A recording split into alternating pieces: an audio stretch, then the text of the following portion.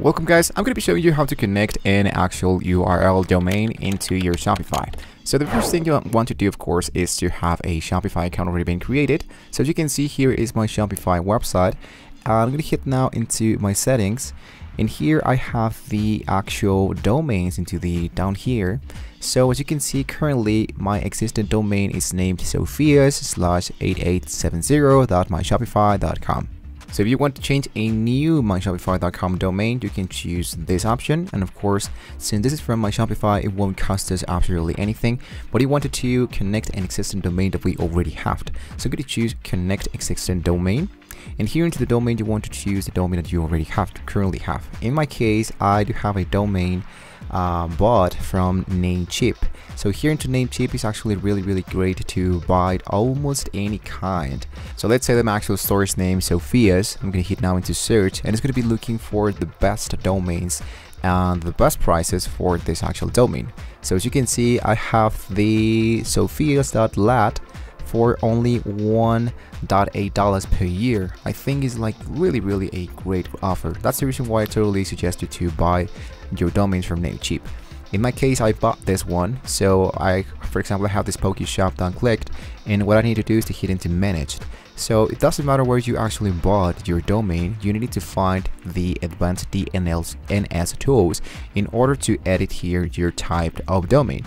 In my case, I'm going to click into Pokeshop.clicked, I'm going to go back into my Shopify and click this option, hit into next, and it's going to be appearing the follow the setting instructions. I'm going to hit into verify connections. And as you can see, I have an A record, a CNAME, and add domain. So I'm going to go and go all the way up.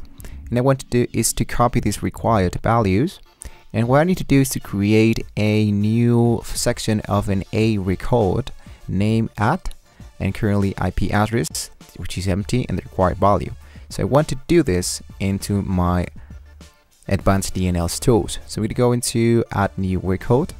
I need to choose a record. Remember this is add and where it says IP address, I wanted to paste this address and hit into save changes and do exactly the same process. So remember this is a CNAME, uh, a host is www and this one is shops.myshopify.com.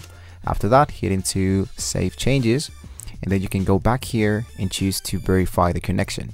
After that, you can try to look out, in my case, let's say for example, Pocket Shop, for example, Pocket Shop that I clicked, and automatically this one is going to be sending me into my actual website of Shopify.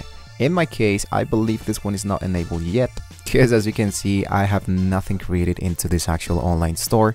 But this is how we can do this. It's really, really easy to process. And just in case you have any question, just in case you have any issue, you just need to wait a few minutes and then reload the page and try this again just to make sure that all your actions should be now, now ready.